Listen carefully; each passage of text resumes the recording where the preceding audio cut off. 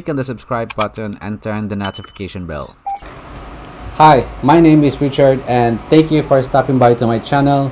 Today we're going to talk about drones. I know my channel has been about uh, video editing tutorials lately, but my channel is all about my personal hobbies and interest and one of them is drone. So let's take a break from video editing and talk about drones a bit for today's episode and maybe for the coming episodes too.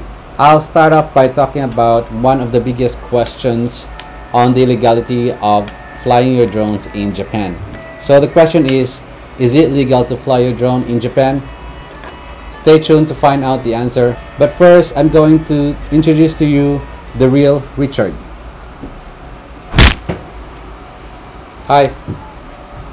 So, is it legal to fly your drone in Japan? I don't want to explicitly say that it is legal to fly your drone in Japan. So here's the thing. There was an incident in 2015 that a drone was flown full of radioactive materials over Prime Minister Shinzo Abe's house. By that time, there was no law that was implemented um, in flying your UAV or your unmanned uh, aerial vehicles, except, of course, no flying near airports. So the government reacted to that uh, incident and triggered to regulate a new law in flying your drone.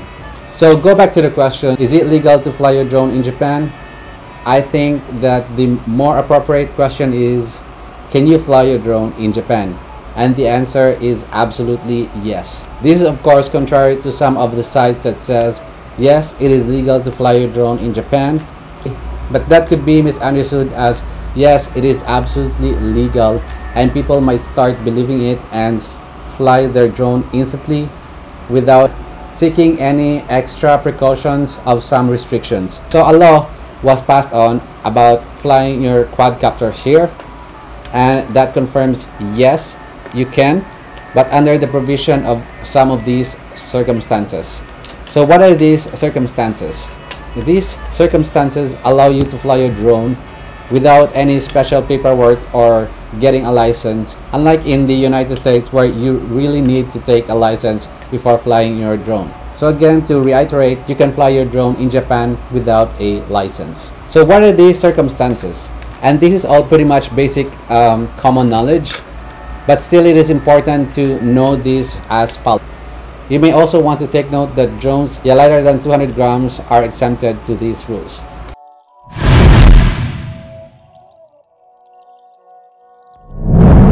So number one, so drones may operate within VLOS or visual line of sight. So as plain as it is, it is much safer that you fly your drone in plain sight. Now it raises the question, what about um, goggles, also known as FPV goggles? Uh, my opinion on, on this is it might not be considered as your own visual line of sight. So this is quite difficult to judge. So I think that you should know the maximum altitude of your drones. Check if flying on that altitude you can still see your aircraft before using it. And as always it is best to contact your authority for confirmation. Flying within visual line of sight would also mean that you only have to fly drones during daytime.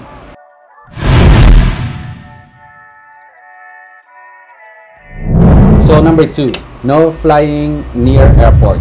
So prior to the 2015 incident, this has been a common law already being implemented, so enough said on this one.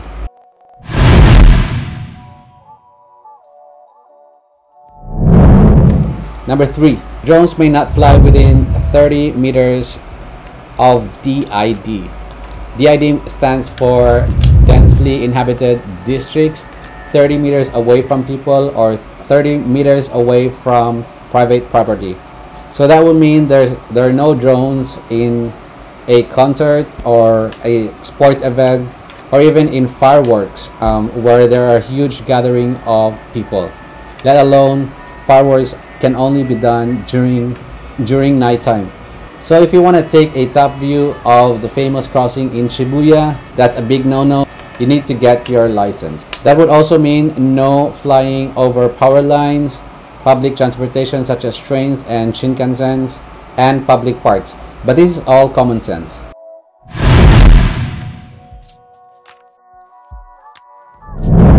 Number 4. Drones may not be used to transport hazardous materials. So this is of course in retrospect to the 2015 incident that once again you don't need to attach risky materials such as uh, radioactive in nature, explosive or sharp objects su such as knives or anything that you can think of if being accidentally dropped on human being could potentially cause damage.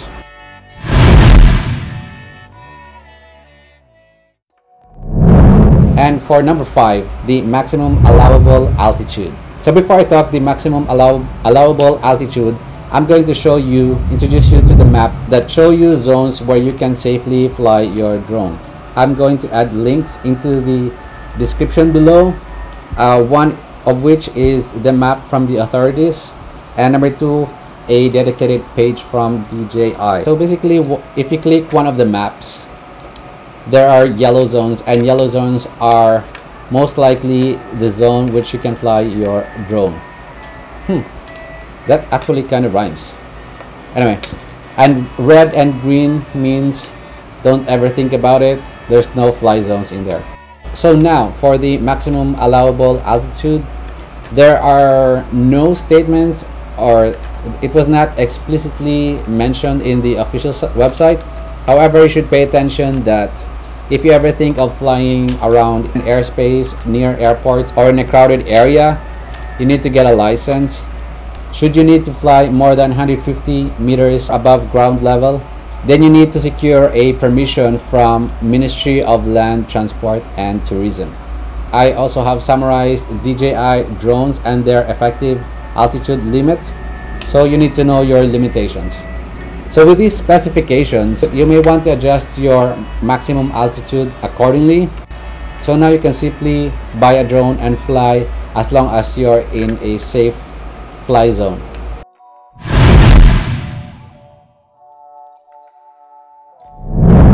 And for the extra tip, flying a drone is just like driving a car. You, you need to be sober and sound physically and mentally so it is your responsibility to check that yourself before taking off. For a final note, if you need to fly your drone, besides the aforementioned circumstances, you need to get some paperwork done and get some special permission from the Ministry of Land, Infrastructure, Tourism and Transport. I'm going to put a link in the description below where you can check out their website. So that's it guys. These are the five restrictions that you need to know before flying your drone in Japan. Thank you for watching. So see you on the next episode. Maybe we'll talk about something very basic about drones. Peace out and be safe.